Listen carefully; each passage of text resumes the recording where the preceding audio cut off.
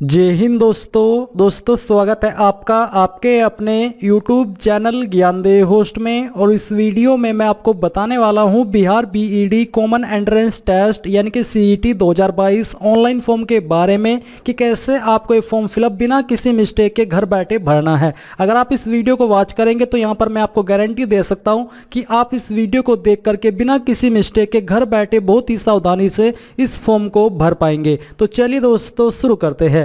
दोस्तों, यहाँ पर अभी जो वीडियो में देख पा रहे हो, ये हमारी official website jobs Gyan dot in है। इसका लिंक आपको इस वीडियो के डिस्क्रिप्शन में मिल जाएगा। जैसे ही आप ये लिंक ओपन करेंगे तो आपके सामने इस नोटिफिकेशन की जानकारी आ जाएगी, जहाँ पर आपको पूरी जानकारी जानने को मिल जाएगी कई कब से लेकर के, कब तक आप लोग इस फॉर्म को भर पाएँगे और क्या एप्लीकेशन फ़ीस यहाँ पर किस कैटेगरी से ली जाएगी। और साथ ही यहाँ पर क्या एलिजिबिलिटी रखी है रेगुलर एजुकेशन मोड में अप्लाई करने के लिए और शिक्षा शास्त्री में अप्लाई करने के लिए। तो ये सब जानकारी आपको यहाँ पर चेक करनी है। चेक करने के बाद में अगर आप एलिजिबल हो और इंटरेस्टेड हो अप्लाई करने के लिए तो आपको अप्लाई ऑनलाइन पर क्लिक करना है। इसके ऊपर क्लिक करने के बाद आपके सामने ऐसा इंटरफेस आ जाएगा।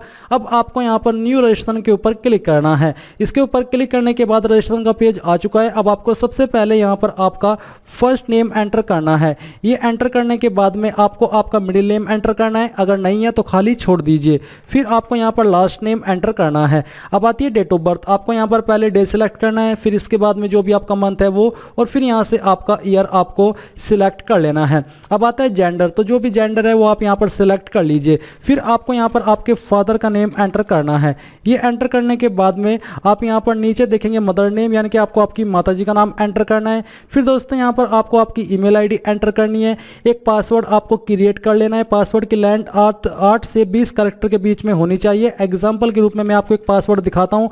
आपको पासवर्ड के अंदर एक इंग्लिश का कैपिटल वर्ड स्मॉल वर्ड और एक स्पेशल करेक्टर और फिर कोई डिजिट भी इस्तेमाल कर लेना है। कुछ इस तरह का पासवर्ड आपको क्रिएट करना है। वो यहाँ पर आपको डाल करके दोबारा फिल करके वेरीफाई करना है। फिर यहाँ पर आपको आपका मोबाइल नंबर एंटर करना है। ये जो कैप्चा कोड है, वो कैप्चा कोड फिल करना है और फिल करने के बाद जो भी जानकारी आपने यहाँ पर भरी है, इनको अच्छे से चेक कीजिए और चेक करने के बाद साइन अप के ऊपर क्लिक कर दीजिए। अब गाइज़ मैं आपको बताना चाहूँगा अन के बारे में, जो कि इंडिया का लार्जेस्ट लर्निंग प्लेटफॉर्म है और अन अकेडमी आपके लिए अन अकेडमिक गोल फिर से लेकर के आया है यूपीएससी सीएससी गोल को पूरा करने के लिए, क्योंकि यहाँ पर आपको 10 नहीं बल्कि 20 परसेंट की छूट दी जा रही है। अगर आप मेरे कोड ए एम का इस्तेमाल करेंगे, जी हाँ आपने सही सुना, इस छूट का फ़ायदा आप लोग पच्चीस अप्रैल से अट्ठाईस अप्रैल दो के बीच में उठा सकते हैं। तो वीडियो के डिस्क्रिप्शन में जो लिंक दिया है, उसके माध्यम से अभी ज्वाइन कर लीजिए और ज्वाइन करते वक्त मेरे कोड ए एम का इस्तेमाल करना बिल्कुल भी मत भूले। साथ ही मैं आपको बता दूँ कि यूपीएससी सीएससी कॉम्बैट एक मई 2022 सुबह 11 बजे फिर से होने वाला है,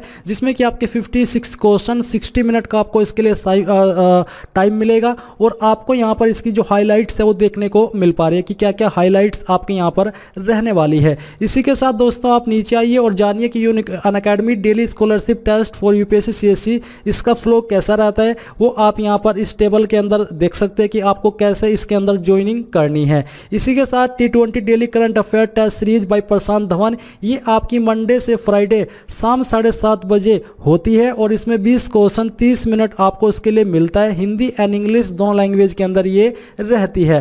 Path finder current affairs April 2020 ये भी आप यहाँ पर चेक कर सकते हैं। एवरी संडे शाम पाँच बजे ये आपकी होती है। इसमें 25 फाइव एम क्वेश्चन होते हैं। 30 मिनट का आपको समय मिलता है। Intense prelims league free test series ये आपकी फ्री टेस्ट सीरीज़ है और ये आपकी अप्रैल अठारह से लेकर के अप्रैल उनतीस, दो तक चल रही है। तो इसमें दोस्तों, आपको इन सब्जेक्ट के, इन टीचर द्वारा या फिर कह लीजिए कि इन एजुकेटर द्वारा आपकी प्रिपरेशन कराई जा रही है। तो जल्दी से जाइए वीडियो के डिस्क्रिप्शन में आपको लिंक्स दिए हैं और ज्वाइन कर लीजिए। और ज्वाइन करते वक्त कोड का इस्तेमाल करना बिल्कुल भी मत भूले, कोई सवाल डाउट हो तो पूछ लीजिएगा। अब यहाँ पर दोस्तों डिटेल्स वेरीफाई करने के बाद में आपके सामने कुछ ऐसा इंटरफेस आएगा जहाँ पर बोला है एक्टिवेट योर अकाउंट तो आपको आपकी ईमेल के ऊपर और मैसेज के माध्यम से एक एक्टिवेशन कोड भेजा है। आपको एक्टिवेट योर अकाउंट के ऊपर क्लिक करके यहाँ पर अपना यूज़र नेम यानी कि अपनी रजिस्टर्ड ईमेल आईडी एंटर करनी है, जो आपको ओटीपी आया है ईमेल और मैसेज के माध्यम से वो यहाँ पर डालना है और सबमिट के ऊपर क्लिक करना है। इसके ऊपर क्लिक करने के बाद आपका अकाउंट वेरीफाई हो चुका है एक्टिवेट हो चुका है। अब आपको लॉगिन के ऊपर क्लिक करना है। लॉगिन के ऊपर क्लिक करने के बाद यहाँ पर आपको साइन इन के ऊपर क्लिक करना है और फिर जो ईमेल आईडी है आपकी, जो रजिस्टर आपने की है वो यहाँ पर डालनी है। अपना पासवर्ड एंटर करना है, जो अभी आपने बनाया है और फिर आपको सबमिट के ऊपर क्लिक करना है। अब यहाँ पर आपके सामने कुछ ऐसा इंटरफेस आ जाएगा। आपको यहाँ पर माई एप्लीकेशन इसके ऊपर क्लिक करना है। इसके ऊपर क्लिक करने के बाद आता है सिलेक्ट प्रोग्राम तो आपको प्रोग्राम टाइप के ऊपर क्लिक करके सिलेक्ट करना है कि आपको बीईडी रेगुलर के लिए अप्लाई करना है या फिर शिक्षा शास्त्री। तो यहाँ से चलिए हम बीईडी सिलेक्ट कर लेते हैं। फिर आता है प्रोग्राम नेम हम यहाँ पर बीईडी सिलेक्ट करते हैं और फिर प्रोसीड के ऊपर क्लिक कर देते हैं। इसके ऊपर क्लिक करने के बाद यहाँ पर टिक करें और आपको एड दी प्रोग्राम इसके ऊपर क्लिक करना है। अब इसके ऊपर क्लिक करने के बाद एप्लीकेंट डिटेल यहाँ पर इनकम्प्लीट है तो आपको इसके ऊपर क्लिक करना है। इसके ऊपर क्लिक करने के बाद यहाँ पर आपका नेम दिया गया है। इसके बाद है कैंडिडेट नेम इन हिंदी यानी कि आपको आपका नाम हिंदी के अंदर एंटर करना है। तो ये नाम एंटर करने के बाद आपको नीचे आना है, फिर यहाँ पर आपको स्टेट डोमोसाइल आप बिहार के हैं या फिर अन्य स्टेट के, वो आपको यहाँ पर सिलेक्ट करना है। नेशनलिटी में आप इंडियन सेलेक्ट करेंगे कास्ट कैटेगरी आपकी जो भी है वो आप यहाँ पर सिलेक्ट कर लीजिए। अगर आप अनरिजर्व यानी कि जनरल है तो अनरिजर्व सिलेक्ट करेंगे। अगर आपकी अन्य कैटेगरी है तो वो भी आप यहाँ पर सिलेक्ट कर लीजिएगा। दिव्यांग है तो यस करें, नहीं तो आपको नो करना है। डेट ऑफ़ बर्थ आपकी दी गई है। Do you belong serviceman family, क्या आप एक्स सर्विसमैन फैमिली से बिलोंग करते हैं? अगर हाँ तो यस, नहीं तो आपको नो करना है। क्या आप माइनॉरिटी से बिलोंग करते हैं? अगर हाँ तो आपको यस करना है। यस करने के बाद आपके सामने माइनॉरिटी कम्युनिटी आ जाएगी तो जो भी आपकी कम्युनिटी है, वो आपको सिलेक्ट कर लेनी है। प्रूफ ऑफ़ पर्सनल आइडेंटिफिकेशन तो आपको यहाँ पर सिलेक्ट के ऊपर क्लिक करके कोई एक आईडी सिलेक्ट कर लेनी है। तो जो भी आप यहाँ पर सिलेक्ट कर रहे हैं, उसी का नंबर आपको यहाँ पर आईडी का देना है। परमानेंट एड्रेस आपका क्या? जैसे कि बिल्डिंग हाउस नंबर, वो आप यहाँ पर लिख देंगे। आपका लैंडमार्क क्या है, यानी कि किसके नज़दीक आपका घर है, वो आप यहाँ पर एंटर कर दीजिएगा। ये एंटर करने के बाद आपको यहाँ पर टाउन विलेज मोहल्ला का नाम देना है, आपके पोस्ट ऑफ़िस का नाम देना है स्टेट यहाँ से आपको आपकी सिलेक्ट कर लेनी है, फिर आपको डिस्ट्रिक्ट एंटर करनी है पिन कोड डाल देना है पुलिस स्टेशन आपको नज़दीकी कौन सा है वो आपको देना है, कोई अन्य मोबाइल नंबर देना चाहते तो आप यहाँ पर दे सकते हैं, नहीं तो आप इसको खाली छोड़ सकते हैं। फिर आपका जो परमानेंट एड्रेस है और जो कोरस्पोंडेंस यानी कि प्रजेंट एड्रेस है, क्या वो सेम है? अगर एक जैसा है तो आप यहाँ पर टिक कर दीजिए। टिक करने पर आपको दोबारा से इसको भरने की आवश्यकता नहीं पड़ेगी। फिर आपको यहाँ पर इस जानकारी को चेक करके सेव एंड प्रोसीड के ऊपर क्लिक करना है। अब यहाँ पर आपके सामने फ़ोटो एंड सिग्नेचर का जो सेक्शन है, वो आ चुका है, जहाँ पर आपको आपका फ़ोटो अपलोड करना है। जो आपको यहाँ पर डायमेंशन दिया है, चाहे इस डायमेंशन के अंदर आपका फ़ोटो हो, ना हो बट जो साइज़ है, उसके अंदर ज़रूर रहना चाहिए। यानी कि फ़ोटो का साइज़ सौ के से कम और फॉर्मेट जेपीईजी या फिर जेपीजी का रहना चाहिए। तो चूज़ फ़ाइल के ऊपर क्लिक करें और जहाँ पर भी आपका फ़ोटो है, वो आपको सिलेक्ट करना है। जैसे कि मैं एक रैंडम इमेज ये वाला सिलेक्ट करता हूँ और इसको ओपन कर लेता हूँ। ओपन करने के बाद फ़ाइल का नेम आ जाएगा। मैं अपलोड फ़ोटो के ऊपर क्लिक करता हूँ तो इसके ऊपर क्लिक करने के बाद आप यहाँ पर देखेंगे फ़ोटो अपलोड हो चुका है। अब आपको सेम तरीके से आपका सिग्नेचर अपलोड करना है। तो जहाँ पर भी सिग्नेचर की फ़ाइल है, वो आपको सिलेक्ट करनी है और यहाँ से ओपन करके आपको अपलोड सिग्नेचर के ऊपर क्लिक करना है। तो ये फ़ाइल भी आपकी अपलोड हो चुकी है। अब आपको नीचे से इवेंट प्रोसीड के ऊपर क्लिक करना है। अब आती है आपके सामने एजुकेशन डिटेल फॉर बी के क्वालिफिकेशन की जानकारी। तो सबसे पहले टेंथ यहाँ पर आपको बताना है कि आपने कौन से बोर्ड से की है। आपको यहाँ पर काफ़ी सारे बोर्ड देखने को मिल पा रहे हैं। अगर आपका बोर्ड इनमें है तो सिलेक्ट करें, नहीं तो अदर के ऊपर क्लिक करके खुद से भर दीजिएगा। ईयर ऑफ़ पासिंग कौन से साल के अंदर आपने पास किया वो आपको सेलेक्ट करना है और आपके स्कूल का नाम क्या था? आपके स्कूल या कॉलेज का नाम क्या था? वो आप यहाँ पर एंटर कर दीजिएगा। ये एंटर करने के बाद में आप यहाँ पर देखेंगे आपका मार्क्स टाइप तो परसेंटेज में सिलेक्ट कर लेता हूँ। जो नंबर आपको आए थे यहाँ पर आपको मार्क्स ऑप्टेंट के अंदर देना है। फुल मार्क्स क्या था? जितने में से आए थे। और परसेंटेज जो है वो आपकी ऑटोमेटिकली आ जाएगी। अब आपको सेम तरीके से बारहवीं की जानकारी देनी है, आपको बारहवीं का बोर्ड सेलेक्ट करना है पासिंग ईयर बताना है कि कौन से साल के अंदर आपने पास की है, फिर आपको यहाँ पर आपके कॉलेज का नाम एंटर करना है कि कहाँ से आपने की है। और आपको यहाँ पर परसेंटेज सेलेक्ट करके नंबर बताना है कि कितने नंबर आपको आए थे और कितने में से आए थे यहाँ पर आपको डाल देना है। अभी कुछ कैंडिडेट का सवाल ये हो सकता है कि सर जो मेरे नंबर है वो सीजीपीए के अंदर है तो आपको क्या करना है? आपको आपके जो सीजीपीए है उनको परसेंटेज के अंदर कन्वर्ट करके यहाँ पर नंबर्स को भरना होगा। फिर आती है ग्रेजुएशन तो ग्रेजुएशन में आपको यहाँ पर आपका जो सब आ, आ, डिग्री है ग्रेजुएशन की कोई भी इनमें से वो सिलेक्ट करे अगर अलग है तो अदर्स के ऊपर क्लिक करें। जैसे कि अगर आप अदर करेंगे तो अदर के बाद आपको जो भी कोर्स है ग्रेजुएशन का वो आप खुद से एंटर कर सकते हैं। मैं यहाँ पर बी सेलेक्ट करता हूँ फिर यहाँ पर आपको आपकी यूनिवर्सिटी सेलेक्ट करनी है कि कहाँ से आपने की है।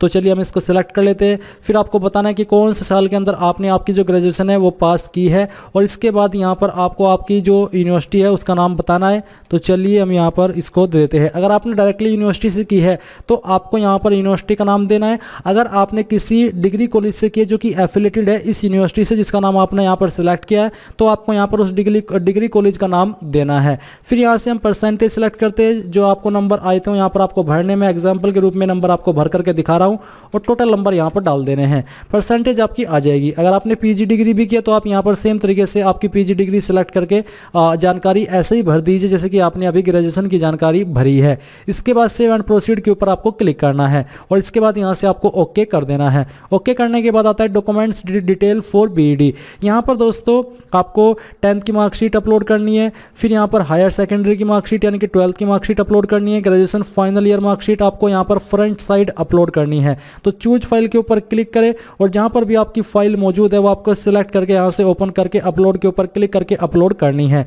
तो एक एक करके आपको तीनों फ़ाइल अपलोड करनी है और फिर नीचे से एंड प्रोसीड के ऊपर क्लिक करना है। अब यहाँ पर आपके सामने एग्जामेशन सेंटर प्रिफरेंस यानी कि आप एग्ज़ाम सेंटर के लिए कौन सी सिटी को क्या प्रिफरेंस देना चाहते हैं तो यहाँ पर आप देख सकते हैं कि इन्हीं सिटी पर आपका एग्ज़ाम होगा। तो पहली प्रिफरेंस आपको किसको देनी है, वो आपको सिलेक्ट करना है सेकंड प्रिफरेंस किसको देनी है, वो सिलेक्ट करना है, और थर्ड प्रिफरेंस किसको देनी वो सिलेक्ट करके आपको सेव एंड कंटिन्यू के ऊपर क्लिक करना है। इसके बाद दोस्तों, आपके सामने आपके फॉर्म का प्रीव्यू आ चुका है। आपको यहाँ पर सभी जानकारी जो आपने अभी तक भरी है सभी को वेरीफाई करना है और फिर आपको यहाँ पर टिक करके कंफर्म एंड सबमिट इसके ऊपर क्लिक करना है। नाउ गाइज़ आपको क्या करना है? आपको यहाँ पर फिर से नीचे आना है और आपको प्रोसीड टू पेमेंट इसके ऊपर क्लिक करना है। इसके ऊपर क्लिक करने के बाद पेमेंट टाइप में आप ऑनलाइन सेलेक्ट करेंगे और सेलेक्ट करने के बाद आपको किस माध्यम से फ़ीस जमा करनी है, वही माध्यम आपको यहाँ पर सेलेक्ट कर लेना है। Debit card credit card net banking of on other banks तो जो भी आप माध्यम सेलेक्ट करना चाहते हो, वही सेलेक्ट करें और फिर आपको यहाँ पर जो प्रोसीड टू पे है, इसके ऊपर क्लिक करना है। इसके ऊपर क्लिक करने के बाद आपको यहाँ पर फिर से कुछ जानकारी देखने को मिलेगी देन आपको यहाँ पर